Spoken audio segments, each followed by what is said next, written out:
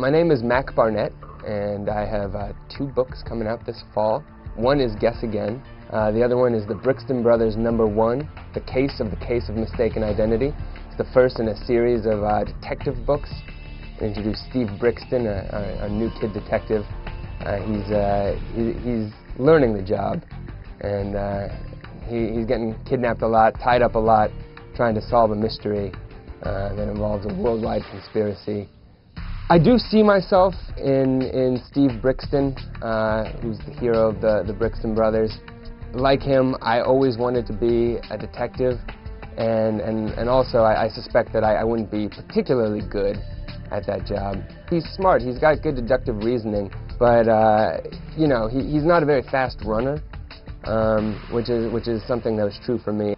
But uh, I think Steve shows that you can, you, can, you can maybe not be a great sprinter, but still get the crime solved.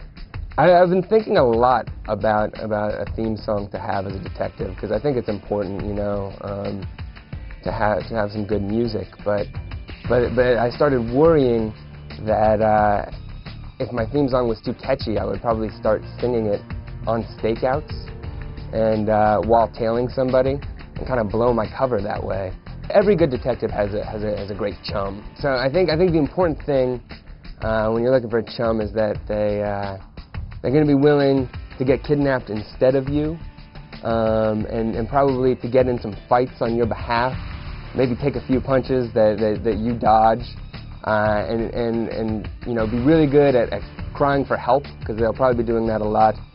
And it's usually also their, their responsibility to make the detective a, uh, a picnic lunch.